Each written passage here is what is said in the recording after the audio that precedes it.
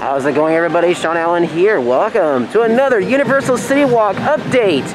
That's right, I'm back Universal City Walk. There's the front entrance to Universal Studios Hollywood right there. Once again, I'm about to do another update for you guys from right here at Universal City Walk. But you know what? This mask, like the last time, was causing me a lot of issues because I could barely talk in this. So give me one second. There we go. Check it out. Got me a Gryffindor mask. Where can you get this one exactly? Well, I'll show you that in just a moment. Very quickly though, I want to share you guys something, a little story. So guess what? A week ago, I posted a very cool photo of these paper model trams. There's three different trams that you can make from the Facebook and the Twitter pages of Universal Studios Hollywood. One is the Glamour Tram, the second being the Super Tram, and the third one being the normal Universal Studios Hollywood Tram. I took a picture of them right over here at the very front of the gate. It got so many likes on Instagram that in fact, Universal Studios Hollywood and even our Team Member Central Instagram pages actually retweeted and shared the picture. Pretty freaking cool. Lots of likes. If you haven't seen the original photo, go and check out my own Instagram page at Shaun Allen Films. And very quickly, I decided to have a little photo shoot here with my Marvel characters because, as some of you are aware, Universal Studios Hollywood used to have Marvel characters here as meet and greets. Something they've also added recently, they've closed off that section over there where the restrooms are because the restrooms are not accessible over there. Well, it looks like they have closed down Billabong. It was open for a few weeks, but it's closed once again. I'm gonna stop in at the Universal Studio store because this is where I got my Gryffindor mask. So here are the masks right here. We have this rainbow one, Universal Studios Hollywood logo, Hello Kitty. Then we have, oh, this is the fluffy unicorn from Despicable Me. One of the official Universal Studios Hollywood logo masks. And up here is where they have the Gryffindor masks. Now, when I got in here originally, which was like maybe 30 minutes ago, they actually had three of these racks up here. But now there's only one. These are going fast, people, and yes, there's only one size, that's medium. So if you're wondering if they have any of the masks over here for like the other houses, the answer is no, because it isn't a, really an official product from Universal Studios Hollywood and Harry Potter. It's just a mask you can get. Plus it doesn't have the logo tags on the mask bag as well. So the only one they have currently is just Gryffindor. Hopefully they'll have the other ones like Hufflepuff, Slytherin, and Ravenclaw. Oh, check it out. They got the new 2020 limited edition wand. That's a nice one. Nice black one. I have the one from last year where we did it for Dark Arts at Hogwarts Castle. This is the 2020 edition. And it is interactive. Look at that. It is an interactive wand. You could use that in Hogsmeade. Basically, you get it right now and bring it back when the park reopens. Oh, it's magic. Look, it's floating in the box. Magic. We also have the different houses and Hogwarts Castle crest. Got Gryffindor and Slytherin up there.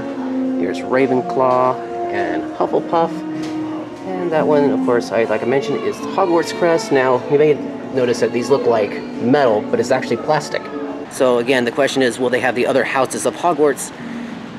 It's a huge question mark because this is the only one they've got right now, and that's Gryffindor, and that's my house. but hopefully they will because obviously you also got the Ravenclaws, the Hufflepuffs, and the the Slytherins. I guess they're just beta testing these and seeing if they are successful in, in selling these, and I think they are. Obviously, two of those racks are already gone, so. Passing by Vivo Italian Kitchen now. Honestly, I don't remember these being up here, these little banners. If they were, I guess I wasn't very observant, but these are cool. You got your herbs right in here. Nice looking herbs. Ooh, look at the flowers on those. Those are nice. Okay, in one of my previous videos, I thought this was either basil or spearmint, some type of mint. I'm gonna smell it once again.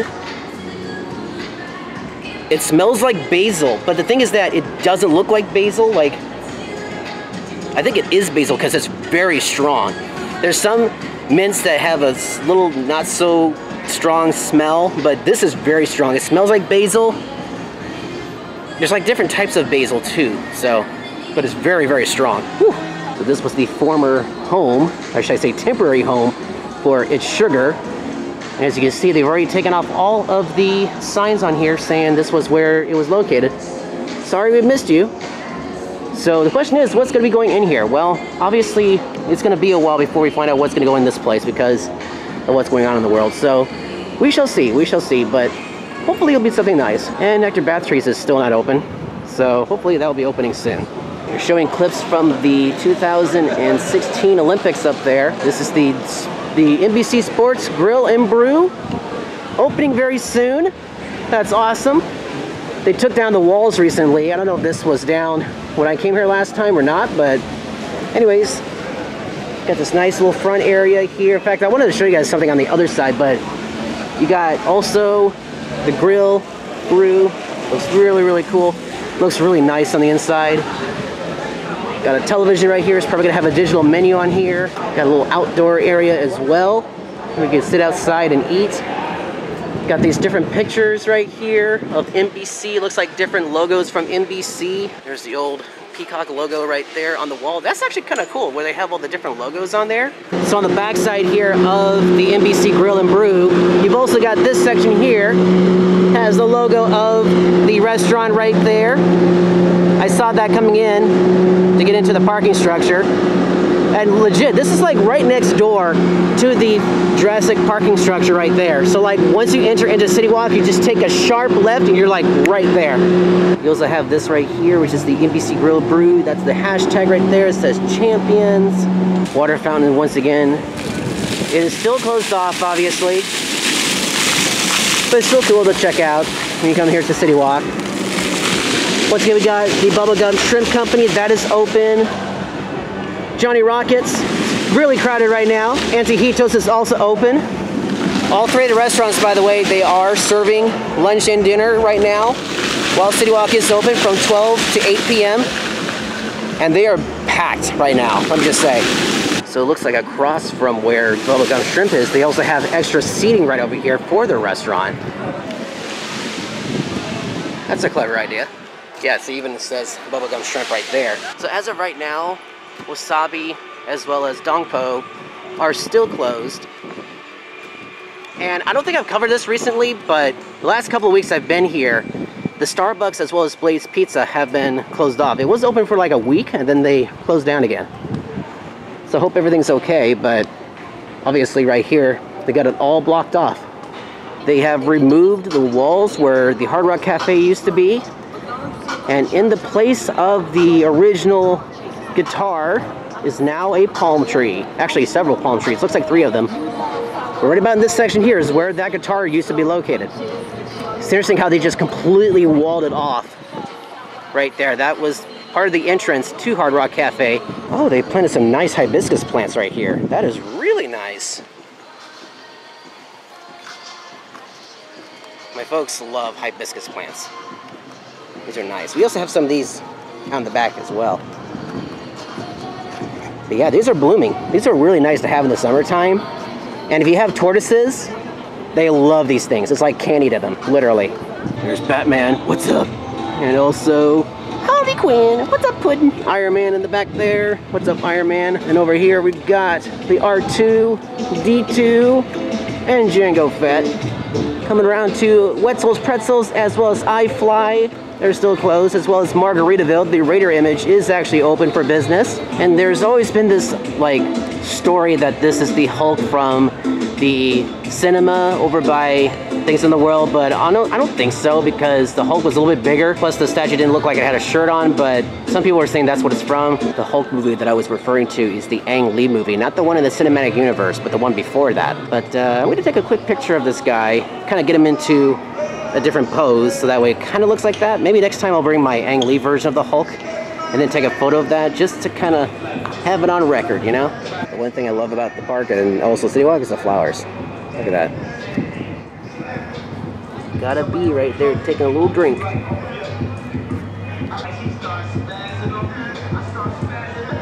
Bee's like, hey, where's my contract? the hat shop here in City Walk has a lot of sports related hats. Now you're probably wondering, well, what about the sandal shop here? Why isn't that open? Well, as I stated previously in my last update, unfortunately they are closed. They have closed down this location. And it looks like they even had a Harry Potter sandal right there. Right there, the red one. It looks like it might be Gryffindor too. Oh man, that would have been cool.